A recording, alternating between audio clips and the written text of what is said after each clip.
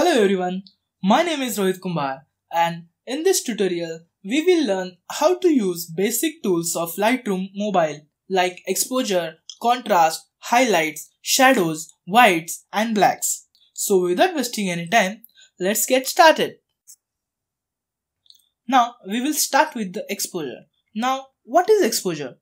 The amount of light enters through your camera is nothing but the exposure.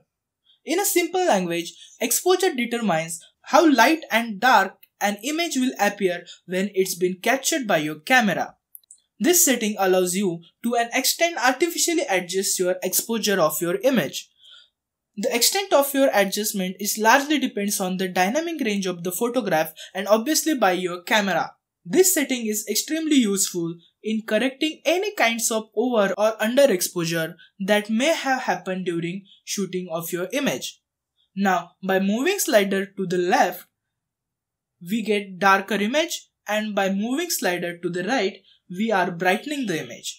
Now remember, while increasing the exposure, we may get noise in the shadows and we don't want any sort of noise in our image. So keep that in mind so Lightroom Mobile allows us to adjust exposure up to plus 5 or minus 5 stops.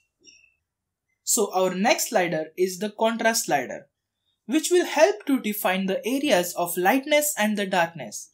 In the vast majority of the photograph, it will end up by increasing the contrast slightly as it tends to help bring out more details and the make photo pop a little bit. This slider is good for making minor changes but overall it doesn't support or it doesn't offer much control over tones of the image. So I would definitely prefer tone curve over contrast slider. Now the next sliders are highlights and the shadows. A highlight is a bright spot on the photograph and the shadow is the dark spot on the photograph. These tools are the most powerful tools in the Lightroom. These two sliders works in totally opposite direction.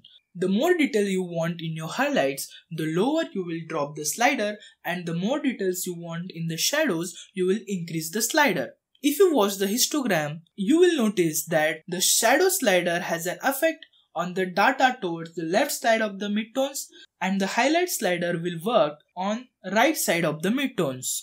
Now moving forward, we have whites and blacks. It is a very good habit to have a perfect mixture of whites and blacks in the image. To obtain that, we have these two sliders. To get a perfect white and black point, just place two fingers on the slider and move it. Now you will notice the mask. Now release the finger when you will get some colors in the mask. I hope you are clear with these tools now. In the next tutorial, I will show you how to use tone curve in the Lightroom.